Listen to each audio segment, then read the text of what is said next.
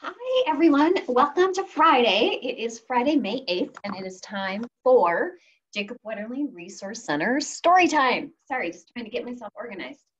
Um, today, the book I'm going to read is called The Peace Book by Todd Parr. So again, The Peace Book by Todd Parr. Oh, and we do have um, we do have someone listening to story time. You want to come in and say hi real quick? This is Tipper. He's going to listen to story time with us. You want to say hi, Tipper? Tipper is my male cat. He is three years old. Oh, sometimes he doesn't like to be held, but he loves story time. All right, Tipper, are you ready? The Peace Book by Todd Parr.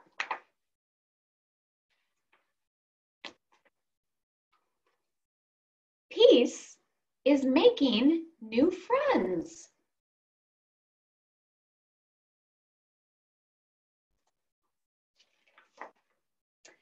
Peace is keeping the water blue for all of the fish. Peace is listening to different kinds of music.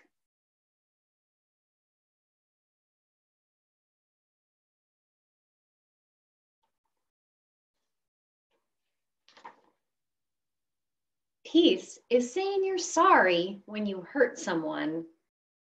Peace is helping your neighbor.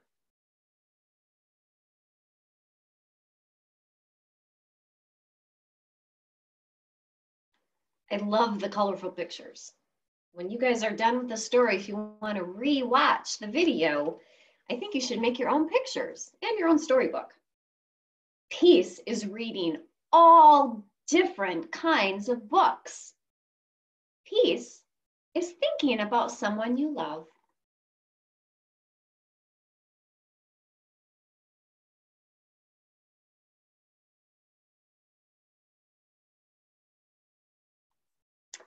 I know for some people the libraries have been closed, so that is really tough. But hopefully you have one of those little free libraries in your neighborhood. And when you go for a walk, you can take a new book and leave an old book for someone. That's my favorite. Peace is giving shoes to someone who needs them.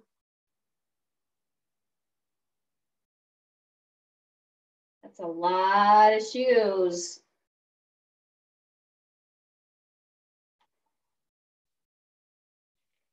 Plus lots of different colors. Peace is planting a tree. That's the best part about spring is all of the flowers and plants that we get to plant outside. Peace is sharing a meal. The trees,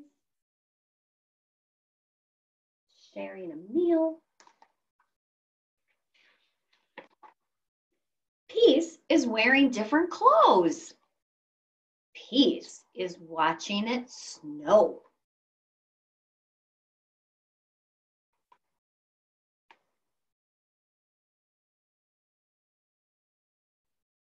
I was watching the news and Belinda Jensen on KARE 11 put a snowflake in, saying that maybe Friday morning there was going to be a snowflake depending on where you live. Peace is keeping the streets clean Peace is offering a hug to a friend.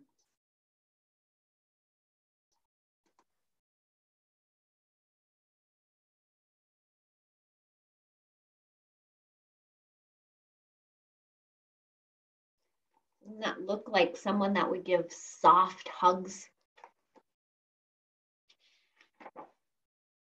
Peace is everyone having a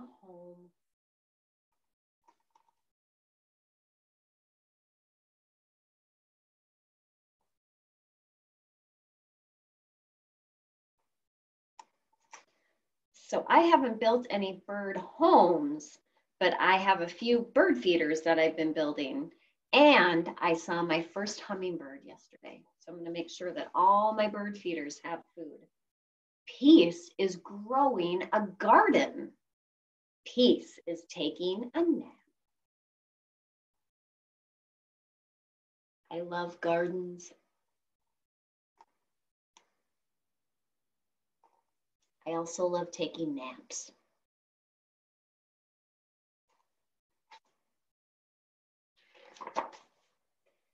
Peace is learning another language. And here, this almost looks like Tipper. Tipper saying meow. Peace is having enough pizza in the world for everyone.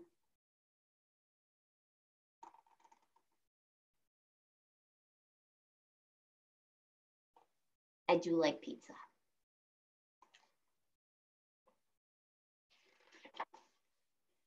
Peace is keeping someone warm.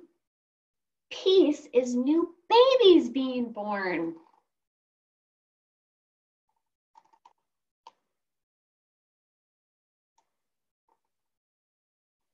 I think there's also going to be some new babies here, some baby chicks.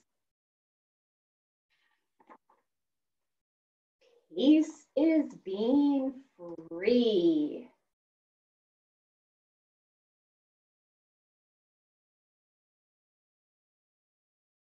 Such pretty pictures. I just love the colors. Peace is traveling to different places, which we can't really do right now, but hopefully soon. Peace is wishing on a star we can do that no matter where you are.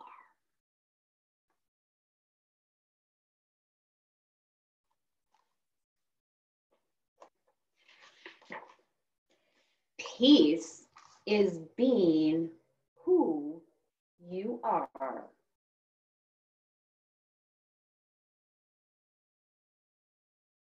Look at all of those great pictures.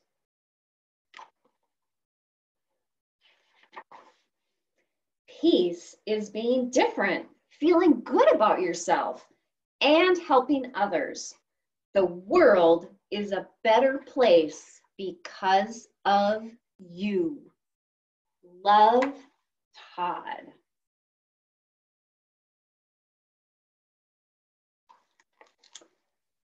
Thank you, Todd.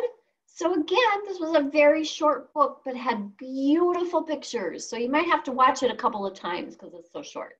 But our story time for Friday, May 8th is The Peace Book by Todd Parr. And he does have some other books that he's written. The family book, Underwear Do's and Don'ts. It's okay to be different, which is maybe a book that will read later, and the feel good book. So thank you, Todd Parr. And thank you everyone for joining Jacob Wetterling Resource Center Friday Story Time. We so enjoy you coming here, even if it's just for a couple minutes. All right, have a good weekend.